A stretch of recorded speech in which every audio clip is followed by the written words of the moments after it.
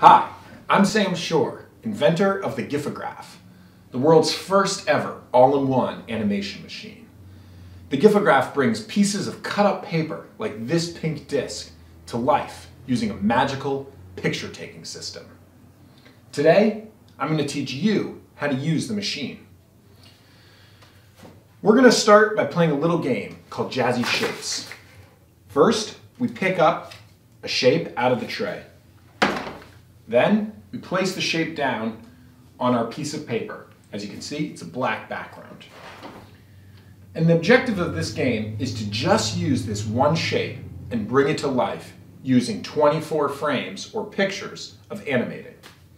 So I'm going to start with my disc up here at the top and I'm going to drop it in and bounce it as the first move. So I'm going to place my disc here and now I'm going to take my first frame by hitting the red button. I've taken a frame. Now I'm going to move the disc a little bit. It's falling into the screen. Hit another picture. Move it some more.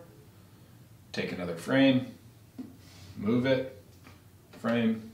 Move it. Now it's getting down to the bottom of the screen. So I'm going to stop it right on the edge there. Take a picture. Now it's going to bounce up and it's going to come up high here. Take a picture. Move it a little bit more. Take a picture.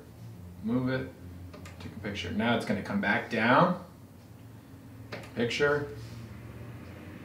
Picture. And again, I'm going to stop it right when it gets to that edge.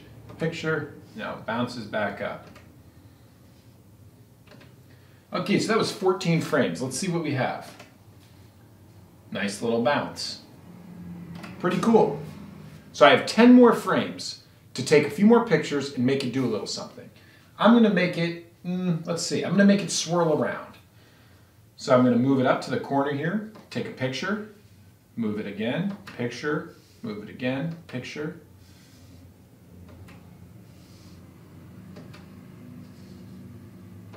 It's going to swirl all the way around back in to the center. And that's perfect, 24 pictures. So that's going to be two seconds of video. Let's take a look. I'm going to hit the green button to watch.